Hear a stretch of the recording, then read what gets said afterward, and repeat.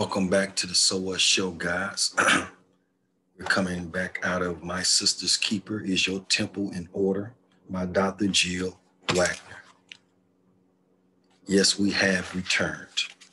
Just like the, uh, the Jedi return.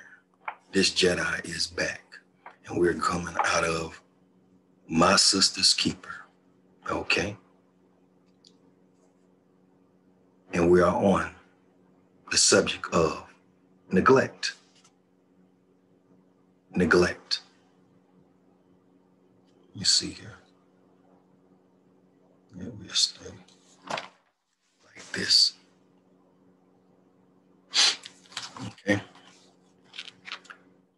One of the primary reasons, before I get started going and like share this to um, the brothers to pick up the al- algorithm family so we can go on and build this channel back up. Are you ready? Let's go for a ride as we float. One of the primary reasons that women neglect their health is lack of knowledge. As progressive women, many of us understand the importance of caring for and maintaining our cars and our physical appearance. Physical appearance in our cars. Let's go on and um, screen share on that. Excuse me. okay, let's look at that. Our cars. Got one of them right there. Our cars and physical appearance. Physical appearances. Okay. But we don't translate that concept into caring for our most precious gift of health. Mm. This book is designed to help you do just that. It is a guide for women, Christian women in particular, aiming to assist you in obtaining and maintaining optimal health. It will give you the knowledge necessary to make the maintenance of your physical and spiritual selves a priority. My prayer is that it will empower you with the motivation to love and care for your own sister self and encourage you to help others, help other sisters to do likewise. From sister to sister, get yourself some girlfriends. I was an only child, blessed with loving grandparents. But one of the most precious gifts God has ever given me is the gift of girlfriends. My grandparents took on the responsibility of rearing me when my teenage mother could not care for me. In our household, like in many others, I was taught don't let outsiders into your inner world. Mama, my grandmother, preached that I should be kind to others. But if they were not family, I was told to treat them with a long handed spoon. Simply put, keep people at a distance, especially other women. In a beauty salon where my aunt worked, I listened to women talk. They said that other women could not be trusted. Women would use your secrets against you. If you told them that you had a good husband or lover, they would steal him when you back when your back was turned, brother. Meanwhile, as a little girl's maturing into grown women, we were taught to tolerate the men in our lives. Other women were not to be trusted. And men would be men. Let me say that again. Men would be men. I witness women who would tolerate a cheating or violent man.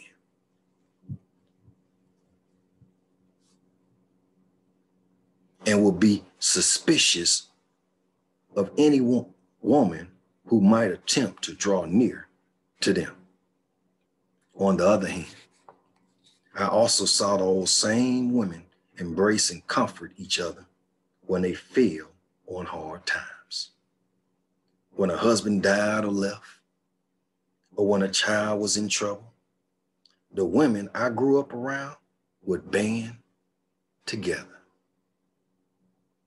Despite their past misgivings about one another, I watched how they helped each other survive the pressures of the world and the pressures of womanhood.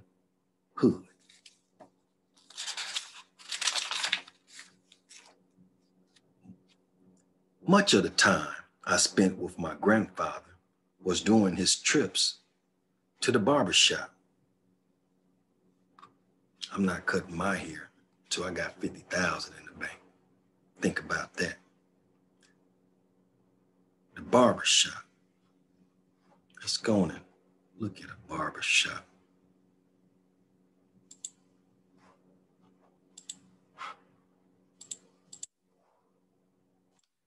Give us a little bit of difference in the room at the moment.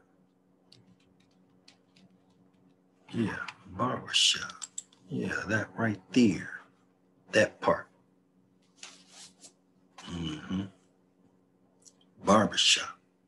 And if you don't know, um, Brother Sean Idom, I think I, that's how you say it. I hope I ain't butcher's name, I-D-O-M, has an ebook out on how to start your own barbershop. I know it's a lot of brothers out here be working for people want to start their own business and can't start their own business.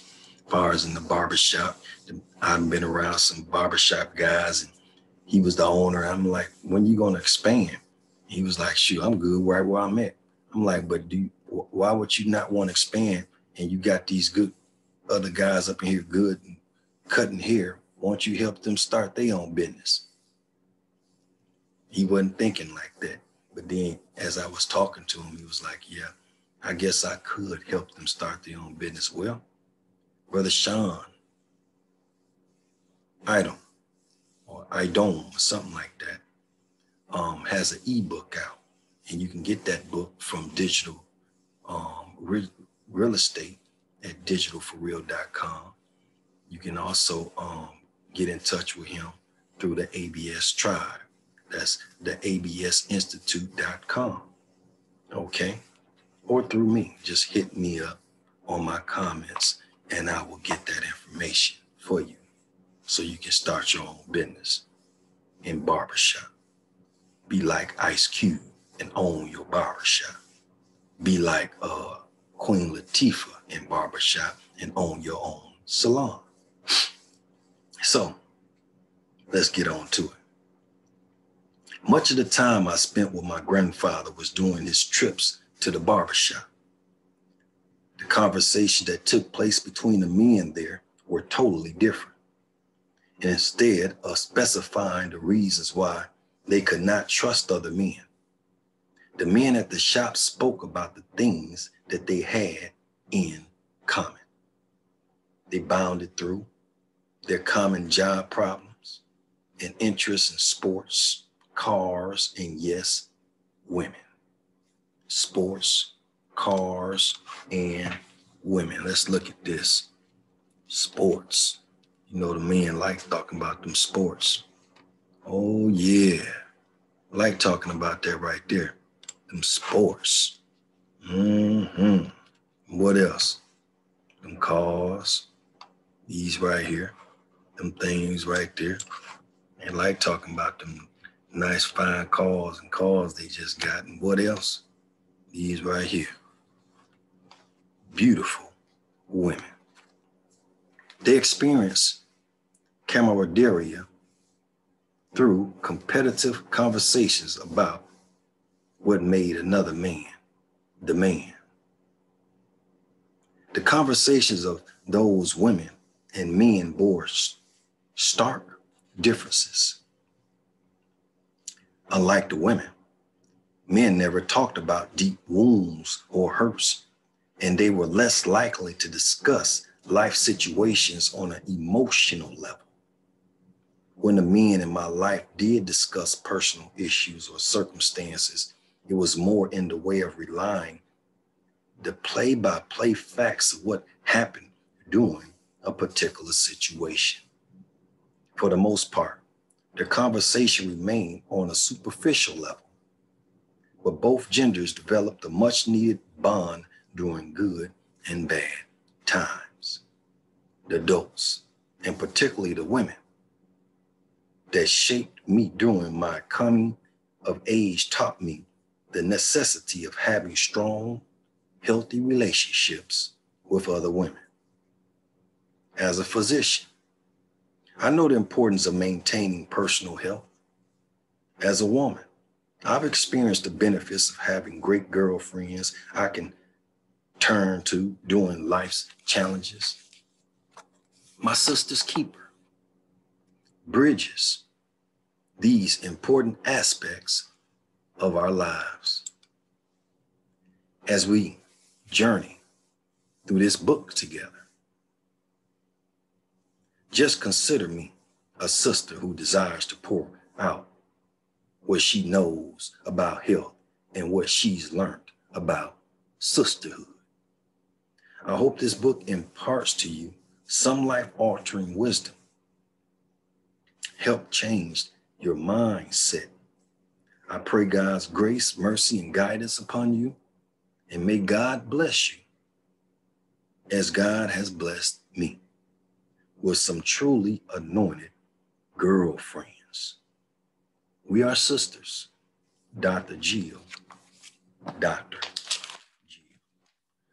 All right there, family. And with that being stated, next time we come out of this book, we'll be on water. Ain't that something? Going into that of the water. Well, family, if you liked what you heard, let me show you a picture, Sister Dr. Gia, right here. You can go get this book. It's a beautiful book. This is my second time reading or third time reading this book. This is a beautiful book. It's purple, royal, and gold with black sisters on the front of different shades. It's a beautiful book. This book right here. I suggest you go get it, sisters. Don't wait for me. Go on ahead. Y'all already be ahead in so many things and jobs and um, bank accounts and things of that nature and mentality and growth, growing up. Going to surpass me and other men in this book. All right, there, family. If you like what you heard, please share, subscribe, like, hit that notification bell at the top that look like it's ringing. And I'll see y'all next time as we're signing out. Keep your heads up, stay focused, and read. Peace.